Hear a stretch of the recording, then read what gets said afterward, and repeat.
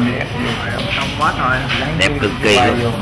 Má, khỏi đèn luôn á. Bỏ cái 40 ngược ngược với anh bấm uh, uh, black white là ông này mà được cái đồ dựng HD câu truyền hình HD rồi một cái nó là tới luôn. Mà HD nó lên cái độ nét hoài em.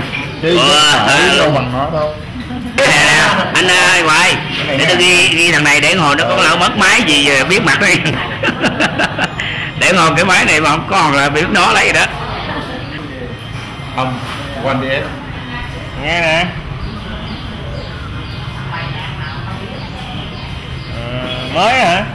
Về Việt Nam ngon ở ở Mỹ mà uống gì ở khỏi đi làm. 22 nhưng ở đây thì Ủa, cậu đi vô chùa hang ha. Ở Việt Nam ở Đang có đi cà phê nó bự lắm nó gấp bốn lần cái này. Là ra buổi sáng đi. Vào giường lấy xe. Ờ tôi máy quay hai máy à. Gì nhìn cái máy nhìn cái tướng anh. Không rồi ghê ha. Đâu mà cười thấy thấy cái răng khởi được không mày? À, bữa hôm mới à, lên đỉnh thằng à, thanh. Gì thanh bên này phú thanh chị bạn? Giờ biết phú tâm kính chào các bạn um, các bạn vừa xem qua clip phim uh, chúng tôi xin giới thiệu đến các bạn đó là những nhiếp ảnh gia của Long An của Bến Tre gồm có Nguyễn Hải Duy Văn Duy Long Hoàng Yến và một số anh em nữa mà chúng tôi không nhớ ờ, hết đã cùng chúng tôi à, đi sáng bát ờ, về à, trái dừa có một cái từ rất là mới đối với chúng tôi đó là chỉ sơ dừa à, tại sao gọi là chỉ sơ dừa khi các bạn cùng chúng tôi dông rủi đến à, nơi làm việc của những người công nhân những người nông dân họ từ một trái dừa khô à, cái vỏ của trái dừa khô họ lột ra rồi qua nhiều cung đoạn để giữ được độ ẩm. Họ đưa vào máy xay ra được những cái sợi chỉ của cái sơ dừa họ phơi khô. Và sau đó các bạn biết rằng cái giá trị của trái dừa rất lớn. Mà khi thấy đời sống của người công nhân ở đây chúng tôi xúc động vô cùng.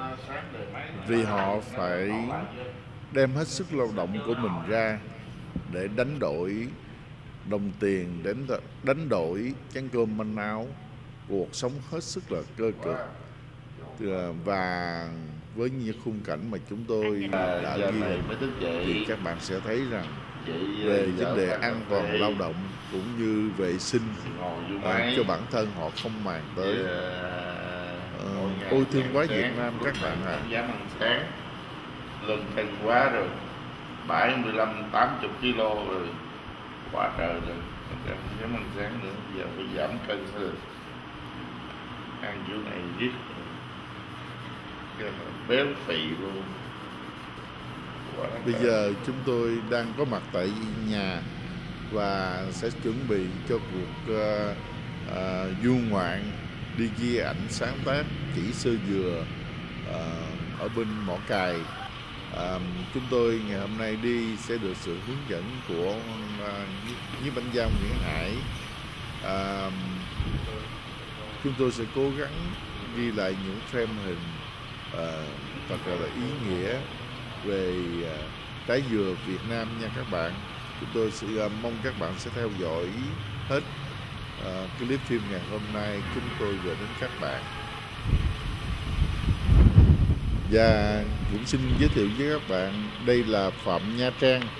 Phạm Gia Trang nhà riêng của cá nhân chúng tôi đó các bạn à, hai vợ chồng đã xây à, căn nhà này cũng đã được à,